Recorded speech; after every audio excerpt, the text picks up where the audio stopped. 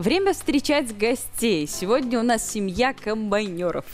Такая дружная семья, которая намолотила очень много. Мы сегодня узнаем Да. сколько. Узнаем также, как журналист дочь помогала в поле отцу, механизатору. Приветствуем Александра Максимика и Елену Худик. Доброе утро, Александр. Доброе утро, Елена. Доброе, Доброе утро. утро. Ну, рассказывайте, как так получилось, что дочь журналиста оказалась на аграрной передовой? Ну, наверное, что в детстве она ко мне приходила на комбайн, на трактор она со мной каталась. А потом как-то поговорили с ней, говорит, пойду к тебе помощником. Ну, говорю, давай попробуем, как там получится у нас. Ну, получилось. Первый год мы с ней так это притирались. Конечно, много, много я не знала. Ну, в этом году уже все вроде бы как-то так пошло у нас хорошо. Получилось. Да, я тоже так считаю. А какие твои функции были? Ты прям за рулем сидела, может быть, Э, комбайна? Нет, за рулем я, конечно же, не сидела. Я просто выполняла те задания, которые говорил мне папа. Конечно, сама я там никуда старалась не лезть, так как я ну, плохо разбираюсь в технике. А так вот папа скажет мне, допустим, почисти это, прикрути это, подкрути, помажь. Я как бы выполняла. То есть в основном, конечно, это слушалась папу, чтобы не влезть куда не нужно. Ну, за руль я, конечно, не садилась. А мне вот всегда было интересно, вот, э, вот для того, чтобы стать водителем комбайна, или, или как это правильно? Комбайна, да. Да. Э, Не, я имею в виду... Не, ну понятно, что это штука, которая там э, молотит, это комбайн. Я в этом вопросе я это выучил еще с детства, когда трактор, да, вот это комбайн. В общем, в общем, надо какие-то там права сдавать на какие-то дополнительные категории. Ну, категория D считается, это самоходная техника, Мгм. это комбайн и все такое, гидравлический ход. Ну, это все приходило, конечно. У меня отец был комбайнером. А, у вас преемственность Да, это все было от отца. И дед, может, еще? Нет, дед уже не был у меня этим, но у меня отец, я с 93 года уже сам управлял комбайнами. Ничего Вы тоже так бегали к отцу на Да, поле? конечно, Да? конечно. Это все же это сельское хозяйство, это. Ну, сейчас, наверное, такая молодежь не поступает, но в то время это было. А у Елены с детства вот эти вот э, получилась э, страсть Ну к технике? да. получается, да. Да, да, да, это было с детства. Я на тракторе пошел. Они ко мне при- приходили, вместе ездили. Это Они это... старшая дочь тоже. А, и, старш... и старшая тоже комбайнами увлекается. Ну да, как-то так. вот. А Она тоже помогала вам, может, нет? Ну, на время уборки вот приходила ко мне. Докручивала то, что не докрутила Елена. Да. Ага, понятно. Хорошо, если такая страсть к сельскому хозяйству, к уборочной, к этой технике, Лена, почему журналист тогда? Почему филолог? Почему не аграрный работник? Ну, не знаю, как-то всегда любила белорусский язык, даже в школе всегда на конференции какие-то ездила, всегда занимала места, просто вот была какая-то любовь к белорусскому языку. И мой классный руководитель подтолкнул меня к тому, чтобы я пошла, я как бы согласилась, родители меня поддержали, я два года готовилась. То есть это было осознанно, даже с 10 класса я уже знала, что я буду филологом, преподавателем белорусского языка и литературы. К технике, ну вот, прибежать, посмотреть, покататься, поснимать в Инстаграм, Да. Такое, конечно, было, да. В шутку сначала, то есть никто всерьез не задумывался, что я правда пойду. В шутку говорили, а потом попробуем, попробуем. Ну, Ну, если считать полноценную помощь, а не то, что там пришла, там, может быть, в детстве. В Инстаграме, Да, в? Инстаграме за- запилила фоточку. Полноценная это твоя первая уборочная компания, либо это уже не первый опыт? Вторая. Это уже вторая уборочная. Да. Мы в том году были вместе с ней на комбайне. В том году вместе? Да, да, да. Ну, нас руководство поддержало, да, разрешило. И так получилось, что мы пошли вместе ну работать. денежку какую-то заработала, да? Да, конечно. Это... Тебе лишь бы вот денежки уточнить. Ну, Нет, ну почему же? ну что это такое? Я просто знаю, что в прошлом году, Это а, секрет. когда Лена а, работала вот во время уборочной кампании, да, вот эти деньги она вложила в свою свадьбу, правильно? Вот. Да. Ты, благое получается, дело. отбила? Ничего себе. Подготовилась. Да, это очень... Да, да, молодец. Пример нашей молодежи, отлично. Хорошо, а хорошо, вот филолог, опять же, да, вот мне еще тоже интересно, преподаватель белорусского. А как попала в журналистику на это поприще? Э, Вышло так, что на четвертом курсе я вышла замуж, захотела быть поближе к мужу и начали искать работу в Свисточском районе, где работает муж. И единственная должность, которая там была на тот момент, в сентябре месяце, это был редактор радио. Так как у меня по специфике моего образования есть там редактор литературный. Поэтому попробовали, меня утвердили на эту должность, и я И пошла так работать. И как бы распределили меня уже тоже туда, чтобы не менять работу, как бы Ну, не же с переходить. Еленой, получается, коллеги. Да. Только ну, у нее есть преимущество, она была, м, работала на компании. Ну вот, коллега, скажите нам, что ж вы делали во время уборочной? Вот э, как конкретно, какие выполняли функции? Как проходил ваш рабочий день, когда он начинался? Ну, приходила я немного попозже, признаюсь, чем папа. Папа продавал комбайн, все-таки пожалел Ну, меня. конечно. Это в какое время Девочка. папа приходил? Ну, на 7 часов я уже Да. был на работе. Да. Да, я приходила немного 7:15. позже, поэтому пока он продавал комбайн, первым делом нужно было обойти, посмотреть как бы комбайн. Далее это прибрать кабину, прибрать все вокруг, помыть стекла, папа скажет помазать что-то, почистить. То есть он мне покажет конкретную работу, и я это иду выполняю. Я делала то же самое, что и все помощники, только не продувала комбайн, потому что это ну, тяжеловато, Ну, это папа меня тяжеловато, как бы жалел.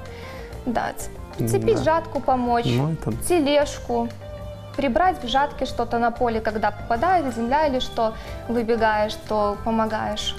Ну, что Ну, еще? Александр, чувствовали вообще ощутимо Ну, конечно, конечно, конечно. И понимаете, вместе посидишь, э, за рулем сидишь, и сбоку о чем-то поговорить, это... Вспоминать. Да, как все это начиналось, она приходила первый год на комбайн, она даже не, ну, не различала, как это сказать, ключи, Ключи, рожковый, там, Ой, это как мы прям. Вот мы Это прям вот- один в один. Да. Ключи вот. Говори за себя. А, ты, ты знаешь. Извините, я так понимаю, у вас тоже есть опыт э, в, в уборочной компании, я все забываю. На что вы откладываете, тоже, наверное, денежки копите, я понял.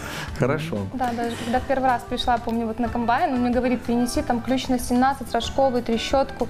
Я стою, там чемодан, я так открываю его, смотрю. Папа, не ругайся. Что, что, что тебе принести? А сейчас уже он там чинит где-то под, под, под комбайном, и я уже, он говорит мне что-то принести, и я уже все, то есть уже Да. быстро, уже даже не думая, схватила, побежала, уже знаю, что где какой рожковый накидной. Муж, то есть- наверное, очень ценит такие новые знания. Наверное, даже гордится. Тоже, тоже когда что-то чинит. Наравне, наравне с ним уже можете овладеть Гордится. всем этим. Гордится. Хорошо, и сколько ваш опыт этот трудовой продлился? Вот все лето, либо какое-то определенное Ну, количество? С какого мы пошли? В том году мы вышли на уборочную 15 июня и закончили 2 2 августа. В этом году мы вышли 19 но завершилась уборочная числа так 13-12 примерно. Ну, Дожди в этот год очень нам задерживали уборку, так вот. А в среднем хорошо прошла, без всяких там эксцессов, так вот. До сильных поломок, да. то Да. есть, Были, Как конечно. совмещали с работой? э, очень хорошо, что руководство на моей работе пошло мне навстречу. Мы заранее оговорили уже зимой, что вот я планирую идти на уборочную, чтобы мне предоставили отпуск. И моя начальница, спасибо ей большое, она, правда, вот сделала мне отпуск тогда, когда была уборочная. Поэтому я не работала на основной работе, я только была на уборочной. А какая-то вот мысль о том, чтобы, не знаю, делать какую-то даже рубрику, может быть, на радио, да, вот работник, э, Будни- журналист на будни передовой, уборщика. да, будни на уборщице, что-то такое. Нет, не Нет, делали? к сожалению, у нас эфир по времени ограничен, это 15 минут, туда нужно вложить и новости, Ну, да, и понятно, какую-то да. рубрику, которая уже постоянно, поэтому, к сожалению, даже времени бы, наверное, ну, не хватило бы немножко, поэтому Ну нет, не ничего, было. можно всегда, есть эпистолярный жанр, можно писать, в принципе, можно. Мы записываем Писать. подкасты, то есть О. у нас, да, Мгм. наша газета занимается подкастами, Ну вот э, уже тема для подкастов есть, отличная. Задумаемся. Просто, да, э, несколько дней, да, месяц в профессии другой, попробуйте себя в новом деле. Ну, рассказывайте, секреты рассказывайте, сколько намолотили. Ну, в этот год, конечно, мы немножко поменьше все-таки. У нас как-то пошла вот засуха была, когда наливался колос. Ну, немножко слабее, да. Ну, 800 намолотили мы в этот год. В том году немножко получше было. Были В прошлом тысячнике. Да, да, да. Ну, были, были поломки, конечно, не без этого. Все-таки комбайн уже у нас старенький, как вам сказать, запчастей, которых нету, ездим где-то отдал нам по колхозу, там так вот. Ну, А, а как вот мне всегда было интересно, как это работает? У каждого свой, да, за каждым закреплен, Да, как, за- это- как личный такой да, транспорт. да, да, да. За каждым комбайнером свой комбайн, своя жатка, все это свое. Ну, помощник тоже знает, где что находится. Слушай, как на Формуле 1, знаешь? Да, да. Все, там ангар, все там, знаешь, конкури... А между другими помощниками у вас А не было конкурируете ну, такое здоровое соперничество? Кто же тысячник в этом году? Ну, Есть что-то Ну, такое? есть, наверное, такое, как там. Но это не мы. Да, мы спокойно, я не особо, как вам сказать. Ага. ну, Мы на Ну, качество, более а не на количество человек. работали. Молодцы, семейный подряд. да. Молодцы. А выходные вообще были? Есть выходные во время уборочной Ну, кампании? нету, Есть ли если- жизнь на Марсе? Если пошла вот хорошая погода, ну это все, это с 7 часов до 11 мы... Пока не стараемся- стемнеет. Пока не стемнеет, покуда роса не упадет, мы все находимся на комбайнах. Уже это До 11 вечера. до 11 вечера, Хорошо. да. Ну, Бывает Пришел домой, по- поел, помылся уже. Да. э, Ну, Снова на работу. Да, когда дети были маленькие, так оно и было. Уходишь, спят и приходишь. Они уже спят, и, по сути, месяц ты детей не видишь. Ну Да. вот этот летний месяц Лена мало получила внимания от папы в детстве, поэтому она решила Да. прийти к Компенсировать. нему в поле и это Знаешь, компенсировать. Я так понимаю, там уже сказки уже читают, чтобы А. уже как- как-то ну, наверстать все, что упущено, я понял, за это время. Окей, слушай, ну это вообще интересный опыт, когда э, вот дети не просто интересуются, чем там родители занимаются. становится частью Да, этого это- профессионального да, дела. да. Хорошо, а почему старшая не подключилась вот так же серьезно? Потому что один помощник нужен. Нет, Два ну уже подожди, В подожди. кабину два человека уже не влезут. Подожди. Ну, мы как-то, Миша, не обсуждали этот вопрос. Я была просто, я сама проявила инициативу. Да. Вот, Вот. поэтому так и вышло. Сестра заинтересована в этом э, меньше, да? Да, но она все равно даже на эту уборочную она приходила, смотрела, Да. да, то есть Смотрела. такое. В следующем году подсидит вас на месте. Мы ей дадим, А, мы ей дадим продувать комбайн. ну да, самое сложное. А что по поводу следующего года? Вот э, уже не хочешь? Нет, к сожалению, немного, я думаю, у нас будут немножко другие планы, да, как бы уже в следующем году, да, вряд ли мы пойдем на Ну вот есть как раз таки старшая сестра. Да. Да, Пускай заменяет. подменит обязательно. А как Да. вот, мне интересно, мама вот ваша к этому относится? Вот к тому, что дочки, э, в принципе, такая не женская профессия? Или немало женщин Ну, за по рес- комбайном? По республике вот показывали много э, семейных таких экипажей, которые жена там с мужем работают. Ну, как э, относилась? Ну, как всегда. У меня было на протяжении 8 лет постоянно один помощник. Просто техника безопасности, понимаете, уже когда ты привык к человеку, ты знаешь, что он никуда не усадит, там, пальцы, руки, ноги. Это просто уже... И к этому человек уже первый год побыл, я уже обучил, и я уже знаю, что она никуда не улезет, и я уже как это так, ну, немножко... Успокоился, Успокоился, да. да, уже, потому что первый год боишься, знаете, что так вот все-таки человек первый раз теряется, там все крутится, все шевелится перед жаткой. Там. Страшно Это было. Да. Опасная работа?